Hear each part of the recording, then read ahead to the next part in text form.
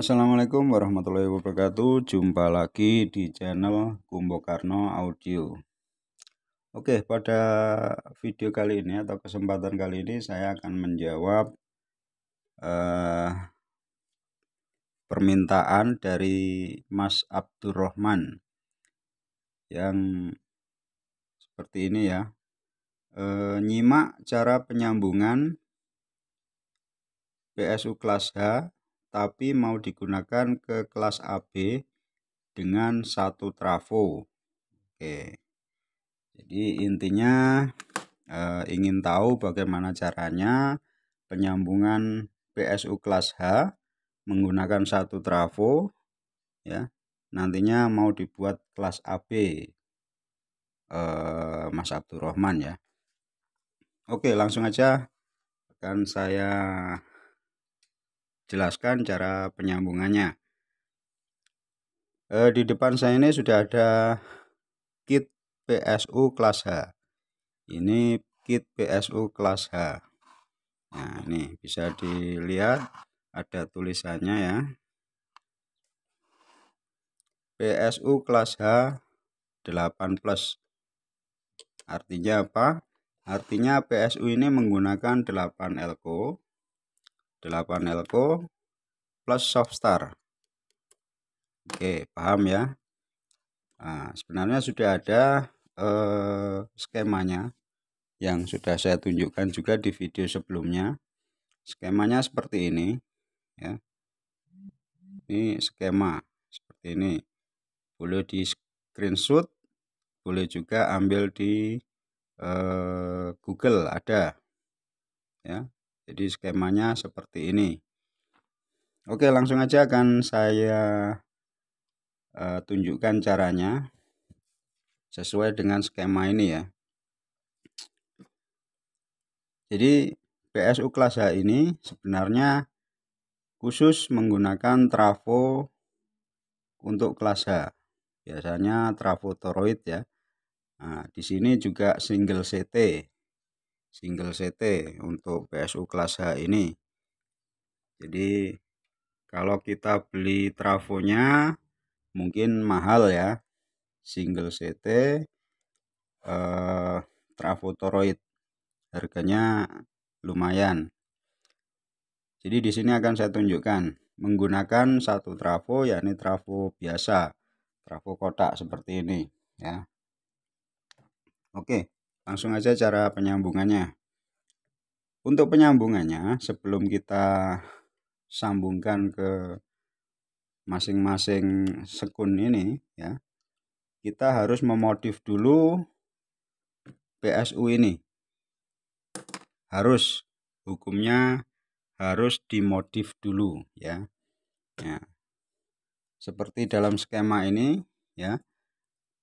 Antara input AC satu kiprok ini di jumper ya. Bisa dilihat di jumper untuk input AC nya ya. Di jumper di jumper oke kita beralih ke PCB nya nah di sini ada empat kiprok empat kiprok.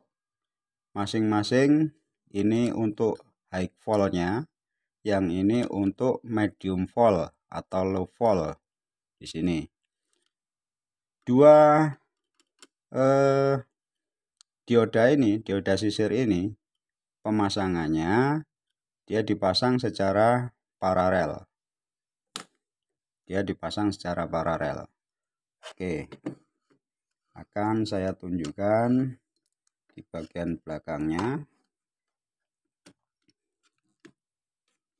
Ya jadi seperti ini. Ya. Ini tadi kaki dari dioda sisir. Ya. Kaki dari dioda sisir. Cara modifnya gimana mas? Kita jumper untuk kaki tengah dari dioda kita jumper di sini juga kita jumper ya. Seperti yang ada di skema ini. Ya jadi modifnya cuma itu aja kita modif hanya kita jumper aja di tengah-tengah sini ya Oke. Hanya itu aja. Lalu kita balik seperti ini. Ya. Di sini ada tulisan AC in, AC in ya. Untuk high volt AC in, untuk medium volt AC in. Untuk dari trafo, tegangan dari trafo, saya umpamakan saya menggunakan 45 VAC. 45 VAC ya. Ini 5 ampere murni ya. 45 45 CT ya. Sini CT tetap kita gunakan. Jadi penyambungannya perhatikan baik-baik untuk 45 yang kanan ya. Eh sorry 45 yang sebelah kiri yang ini ya sebelah kiri tangan saya ini ya. Nah, kita masukkan ke input AC yang sebelah sini. Input AC sebelah sini. Oke. Seperti ini. Ya. Lalu 45 yang kedua yang sebelah kanan 45 yang sebelah kanan ini ini kita gunakan sebagai CT kita masukkan di CT ini. Nah itu ada tulisan CT di situ. Kita masukkan di bagian CT oke. Seperti ini. Lalu untuk CT dari trafo nah CT dari CT dari trafo ini nanti sebagai tegangan medium volt. Kita masukkan ke input AC AC input ya di sini yang bagian kiprok atau sisir satunya tadi. Ya. Ini nanti sebagai medium volt. Oke. Sebenarnya mudah seperti itu ya kalau kita baca skema seperti ini ya lalu kita terapkan ya. Jadinya nanti seperti ini. Sudah ya jelas ya? Nah, seperti itu. Untuk penyambungan eh, softstar untuk penyambungan softstar ya mudah ya. Mudah sekali. Di sini sudah ada tulisan di sini AC in AC input atau in AC input AC ini kalau di Shopstar ini dari input PLN Oke ini ini input PLN ya. Nah, input PLN lalu untuk nah di sini ada switch ada switch ya. Nah di sini ada switch tulisan switch ada sekunnya nah ini switch menuju ke saklar. Menuju ke saklar. Lalu ada AC out. AC out ini AC yang menuju ke trafo. Ya ini yang menuju ke trafo. 0 dan 220 ya. Ya kabel warna biru dan hitam. Ini menuju ke trafo ya seperti itu. Sangat mudah ya lor ya? Kalau belum paham silahkan eh, lihat video di beranda saya cara pemasangan softar. Ada lor silahkan dilihat di situ. Ada videonya. Jadi untuk penyambungannya Mas Abdurrahman hanya seperti itu ya. Penyambungan dari trafo menuju ke PSU utama ya. Jadi hanya seperti itu. Oke, akan saya tes langsung ya. Akan saya tes jika kita menggunakan 45 outputnya jadi berapa. Nah, di situ biasanya banyak yang bertanya Mas kalau output 45 jadi berapa Mas nah karena di sini maksimal 45 BAC ya untuk trafonya. Oke akan langsung saja saya tes.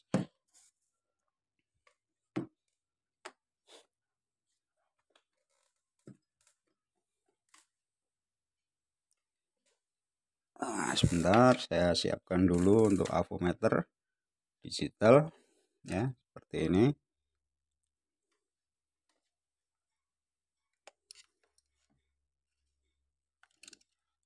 Akan saya taruh di sini aja lah. Biar kelihatan ya. Oke. Saya taruh di sini. Biar kelihatan. Untuk kaki dari uh, ini avometer sudah saya ganti seperti ini ya. Untuk colokannya Oke akan saya masukkan untuk negatif ke ground ya. Untuk positif dari ini saya masukkan ke positif.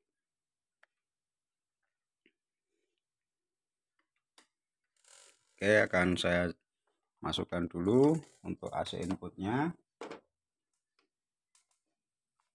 Oke. Nah di sini sudah menunjukkan ya karena di sini masih ada sisa tegangan. Oke. Akan saya on kan dan lihat di eh, layar avometer ini. 45 volt AC outputnya jadi berapa volt DC dengan cara seperti ini ya. Oke saya nyalakan Bismillahirrahmanirrahim. Oke, sudah menyala ya. Oke, lampu sudah menyala.